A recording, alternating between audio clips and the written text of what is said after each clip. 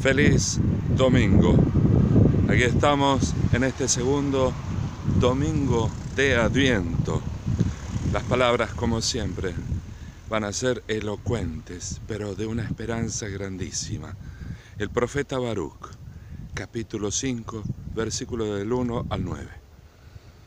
Escucha. Sacate la ropa de duelo y de aflicción. Jerusalén, Vístete para siempre con el esplendor de la gloria de Dios. Cúbrete con el manto de la justicia de Dios. Coloca sobre tu cabeza la diadema de gloria del Eterno, porque Dios mostrará tu resplendor y todo lo que existe bajo el cielo, porque recibirás de Dios para siempre este nombre, paz en la justicia y gloria en la piedad. Levántate, Jerusalén. Sube a lo alto y dirige tu mirada hacia el oriente. Mira a tus hijos reunidos desde el oriente al occidente. Por la palabra del Santo, llenos de gozo, porque Dios se acordó de ellos.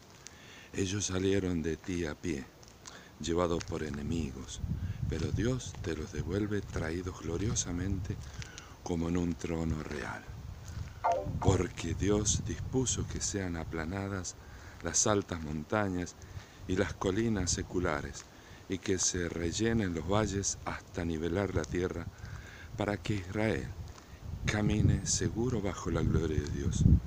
También los bosques y todas las plantas aromáticas darán sombra a Israel por orden de Dios porque Dios conducirá a Israel en la alegría a la luz de su gloria, acompañándolo con misericordia y justicia. Qué bellísima palabra, aquí ya nos vienen a saludar, porque estamos todos contentos viviendo este domingo, el Día del Señor. El Salmo 125, o según la versión, el Salmo 126, cuando el Señor cambió la suerte de Sión, nos parecía que soñábamos. Nuestra boca se llenó de risas, nuestros labios de canciones. Hasta los mismos paganos decían, el Señor hizo por ellos grandes cosas. Grandes cosas hizo el Señor por nosotros y estamos rebosantes de alegría. Imagínate, hasta los paganos llegan a decir en boca del salmista el Señor ha estado grande con este pueblo. El San Pablo a los filipenses, una comunidad tan querida, tan amada por el Señor, al capítulo 1, versículos del 4 al 6 y después del 8 al 11, dirá, siempre y en todas mis oraciones pido con alegría por todos ustedes. Qué bárbaro. El apóstol San Pablo, que les dice cuánto contento está y está rezando por esta comunidad, pensando en la colaboración que prestaron a la difusión del Evangelio desde el comienzo hasta ahora. Estoy firmemente convencido de que aquel que comenzó en ustedes la buena obra la irá completando hasta el día de Cristo Jesús. Dios es testigo de que los quiero tiernamente y todos en el corazón de Cristo Jesús. Y en mi oración pido que el Señor crezca cada vez más en el conocimiento interesante y en la plena comprensión, a fin de que puedan discernir lo que es mejor. Así serán encontrados puros e irreprochables ante Dios. El Evangelio no queda atrás, sin duda. Lucas, iniciando con una, eh, un contexto histórico, por eso Lucas es llamado el evangelista, eh, el historiador, porque gracias a él tenemos tantísimos datos eh, con una ubicación precisa de los tiempos del Señor, cuándo sucedían las cosas y en qué cosas eh, se encontraban en ese momento. El Evangelio de Lucas, el capítulo 3, versículos del 1 al 6. El año decimoquinto del reinado del emperador Tiberio, cuando Poncio Pilato gobernaba la Judea, siendo Herodes tetrarca de Galilea, su hermano Felipe, tetrarca de Iturea y Traconítide, y Lisanias de Trarca de Abilene, bajo el pontificado de Anás y Caifás. Dios dirigió su palabra a Juan, el hijo de Zacarías que estaba en el desierto. Este comenzó entonces a recorrer por toda la región del río Jordán, anunciando el bautismo de conversión para el perdón de los pecados.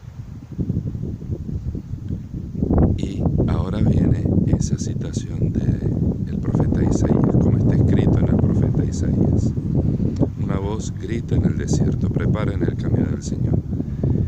en su sendero, los valles serán rellenados, las montañas y las colinas serán aplanadas, serán enderezados los senderos sinuosos y nivelados los caminos desparejos. Entonces todos los hombres verán la salvación de Dios. Palabra del Señor. Imagínate qué magnífica esta palabra que estamos eh, recibiendo hoy. Y es una palabra así, así bonita, así importante, que nos abre para hacer una pregunta o mejor, dos preguntas, o una pregunta con un par de respuestas, ¿no? Tiempo de Adviento, tiempo de preparación para la fiesta de la venida del Señor, ¿no? Entonces nos podemos hacer esta pregunta. Eh, ¿Es que el Señor viene o nosotros vamos hacia Él? O una parte viene y una parte vamos hacia Él, ¿no? Una tercera posible respuesta yo creo que estamos en esta dirección, ¿no?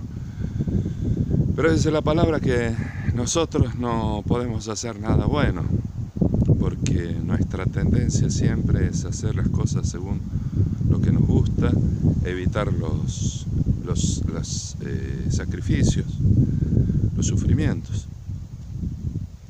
de manera tal que esto es una, un primer movimiento de parte de Dios que se hace atrayente, atractivo para nosotros. Entonces ahí viene esta adhesión.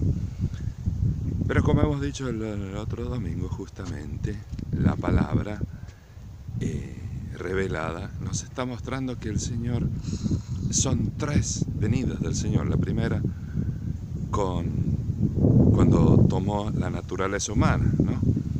en el nacimiento, de la cual nosotros no hemos participado en cuanto que no estábamos ahí, ni tampoco hemos sido aconsejados si era el momento. La segunda venida al final de los tiempos, la parucía. No sabemos cuándo, dice la palabra, que ni tampoco el Hijo del Hombre lo sabe, sino que le queda en el misterio del Padre. Y la tercera venida de la cual hablan tantos santos, es la que estamos preparando. Es esta venida, la venida en nuestro corazón, hoy, a vos, a mí. ¿Cómo la estamos preparando? Entonces ahí vienen las palabras. ¿Qué significa esta eh, representación geográfica que el Señor está haciendo? Es como que para ir yo desde aquí hacia ese pueblo que está en la cima de la montaña, enfrente mío, a mi espalda. Si se aplanara el terreno, eh, podría ir caminando y sin ningún problema, en dos minutos estaría ahí. Sin embargo, por eh, la dificultad de la montaña, ese camino que es corto se hace largo y también bastante trabajoso, porque hay que subir, bajar, eh, hay árboles, hay de todo. Entonces esa distancia se multiplica y los accidentes geográficos son mayores.